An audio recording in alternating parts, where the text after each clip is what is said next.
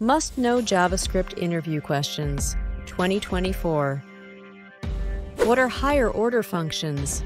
In JavaScript, higher order functions are functions that either take other functions as arguments or return functions as their result. They are a key concept in functional programming, allowing for more abstract and reusable code. Benefits of higher order functions.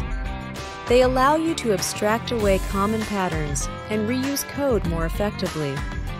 Code becomes more modular, making it easier to read, understand, and maintain. They are fundamental to functional programming, enabling a more declarative approach to writing code. Higher order functions are a powerful feature in JavaScript that help to make code more expressive, reusable, and maintainable. What are arrow functions? An arrow function in JavaScript is a concise way to write functions. Introduced in ES6, arrow functions allow for a shorter syntax compared to traditional function expressions. They also lexically bind the this value, meaning the value of this inside an arrow function is the same as outside the function. Arrow functions are particularly useful for writing short functions, especially when you need to preserve the this context from the outer scope.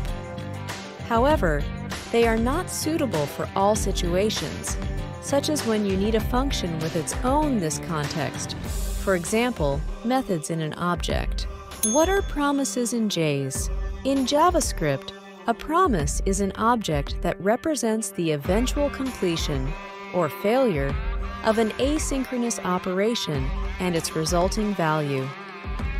Promises provide a cleaner, more manageable way to handle asynchronous operations compared to traditional callback-based approaches. Benefits of promises. Promises make it easier to manage complex asynchronous code without deeply nested callbacks. Promises provide a more consistent and readable way to handle errors in asynchronous code.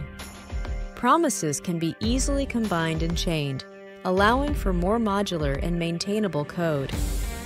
Promises are a core feature of modern JavaScript and are widely used in many libraries and frameworks to handle asynchronous operations.